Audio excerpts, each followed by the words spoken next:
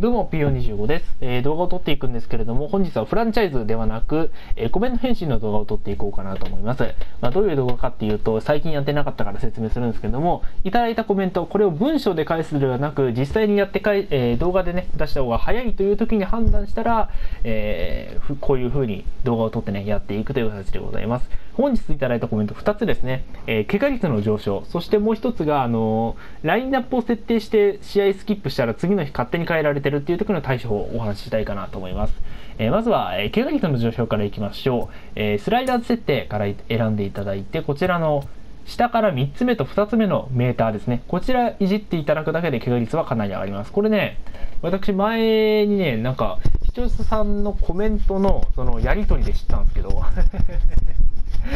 ね、初めて知ったんでね、なんか、怪我率上げられるんだっていうところで、本当にね、これ怪我率かなり上がります。うん。だから、おすすめですね。これかなりこう面白いですよ。やっぱりやりくりが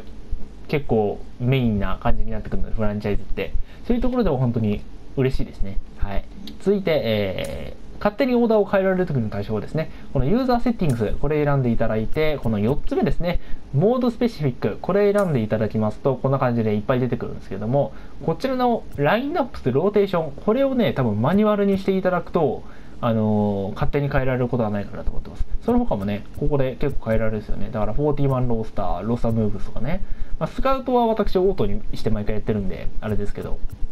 まあ、こんな感じで選んでいただくだけで、えー、簡単にね、えー、っと、やっていただけるというところでございます。これね、結構、これオートになってるとマジで勝手に変えられちゃうからね。困っちゃうんですけどもね。というところでございます。本日はこれでね、あ、待って、終わろうかなと思います。ありがとうございました。えー、チャンネル登録とかもね、よろしくお願いします。バイバイ。